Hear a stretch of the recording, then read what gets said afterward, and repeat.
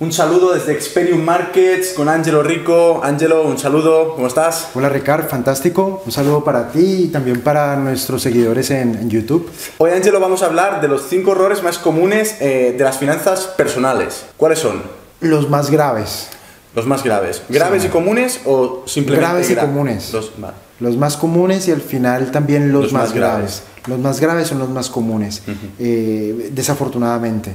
Mira, el primero, uno que yo creo que la mayoría, la mayoría de la gente nos dará la razón. La gente no tiene un presupuesto. No manejan presupuesto. Simplemente gasta, eh, no llega el dinero y gasta. Llega el dinero y el dinero ya no les pertenece. O sea, el dinero antes de ganárselo ya no le pertenece. Ya le pertenece a otras personas porque ellos no tienen el presupuesto, ellos no saben a dónde se asigna ese dinero, es se lo gastan. Para ti es importante saber que el dinero que llega por aquí tiene que ir aquí, aquí, aquí, ¿no? claro, porque eso significa, si nosotros llegamos a ese punto, significa que nosotros tenemos en orden nuestras finanzas personales. Es que pasa algo, Ricard. Quien falla en planificar, planifica para fallar. O sea, si tú no tienes un presupuesto, es que es imposible llegar a ningún lado. Tú no sabes en qué te gastas el dinero, no sabes para dónde se va el dinero, no, sabes cómo, no sabes cómo se distribuye el dinero, no sabes por dónde le está entrando el agua a tu barco y por lo tanto tu barco se está hundiendo. El presupuesto es clave, clave, clave. Nadie, sin unas finanzas personales organizadas, nadie puede pensar que se puede dedicar a invertir o a hacer trading o a tener negocios. Nadie Nadie. Si no organizas tus finanzas personales, pues tú no puedes pasar al siguiente nivel. Tú estás estancado en cosas básicas y una de ellas son eh, tener un presupuesto. Entonces, esa es la primera. La segunda es, por ejemplo, una que también es muy típica y también es muy grave. Y es que muchas personas toman una hipoteca sin estar preparadas. Es decir, muchas personas compran una casa sin estar preparadas. Esto es un poco vivir más allá de tus posibilidades, ¿no? Es un poco. Pero ¿por qué es grave? Porque tú estás utilizando un ingreso de corto plazo, generalmente de corto plazo, que es tu empleo, para asignarlo a un gasto de largo plazo como es una hipoteca. Una hipoteca generalmente se, se, contrata una hipoteca es el crédito para vivienda. Cuando ya no tienes próstata, se termina de pagar la hipoteca. Una hipoteca tú la contratas a 20, 30 o 40 años. Entonces hoy en día, ¿quién puede garantizar que tú vas a tener empleo 10, 20, 30 o 40 años? Nadie. Entonces un ingreso de corto plazo lo utilizas para pagar un gasto, un costo de largo plazo. Esto desde el punto de vista de las finanzas corporativas no tiene ningún sentido. Cuando tú haces finanzas corporativas, tú entiendes que las compañías atienden los gastos de largo plazo con ingresos de, largo plazo. esto se llama estructura de capital. Las fuentes de ingresos de largo plazo son las que financian los gastos de largo plazo y las fuentes de ingreso de corto plazo son las que financian los gastos de corto plazo las, las empresas que funcionan así son las que tienen una correcta estructura de capital y esa es la manera, esa es la manera en la cual los particulares nos debemos manejar. La gente se quiebra fácilmente contratando una hipoteca, contratando un crédito para comprar vivienda sin estar preparada. Esto es el problema principal de, de la clase media, ¿no? claro, la clase media, porque la clase media generalmente es la que invierte en pasivos. Ellos, ellos, ellos contratan créditos para comprar pasivos. Entonces, por ejemplo, ¿cuál es el tema de una casa? Eh, comprar una casa es algo romántico, tú sientes que allí va a crecer tu familia, es algo que produce ternura, tú te sientes que estás comprando algo propio, algo para ti y algo para tus hijos. Pero en el fondo, tú estás contratando un crédito para comprar una casa y una casa es un pasivo. El pasivo lo debemos entender como algo que quita dinero de tu bolsillo, que retira dinero de tu bolsillo. Una casa no es un activo, una casa es un pasivo.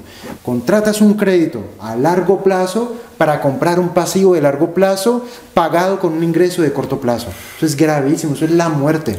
Eso es la muerte.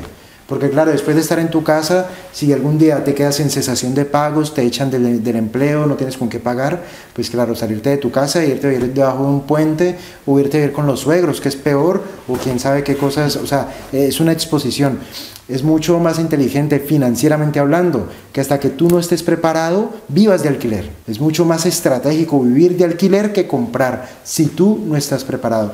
¿Qué es estar preparado? Que haya una buena proporción para esa compra entre ahorros y crédito.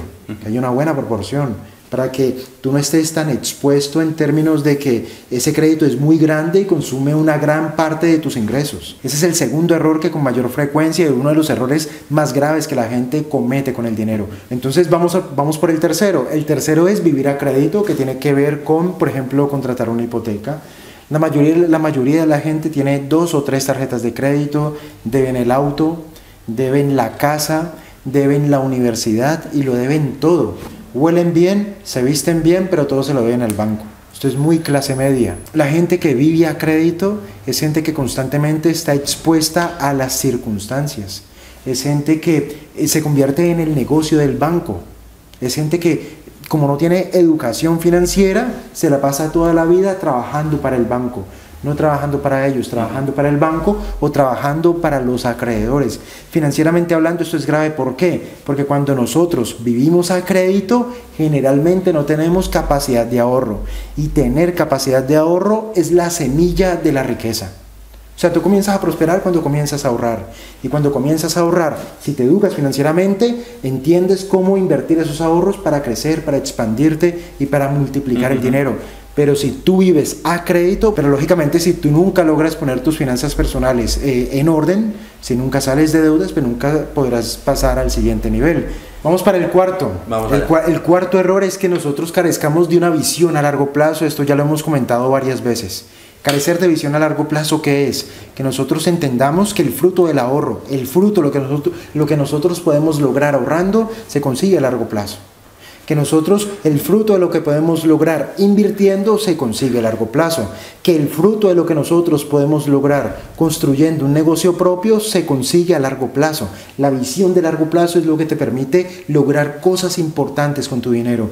La visión de corto plazo es lo que te invita a gastarte tu dinero en baratijas, en pasivos o simplemente en gastártelo en, en cosas que realmente no vas a utilizar o que compras porque están de moda, como un iPhone o como comprar el iPhone o un teléfono móvil con todas las aplicaciones o con todas eh, las herramientas y solamente lo utilizas para WhatsApp. O sea, hay gente que se compra un teléfono de mil euros y solamente lo utiliza para el WhatsApp. O sea, no, no hace más. Pero se gastaron mil euros en esto. Entonces compran cosas carísimas y generalmente no las utilizan o las subutilizan. Y ahora vamos para el quinto. El quinto es el más grave y es consecuencia de todo lo que hablamos anteriormente.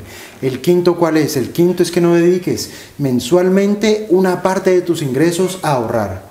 Y eso es grave porque lo que acabamos de decir, el ahorro ahorrar es el principio de la riqueza.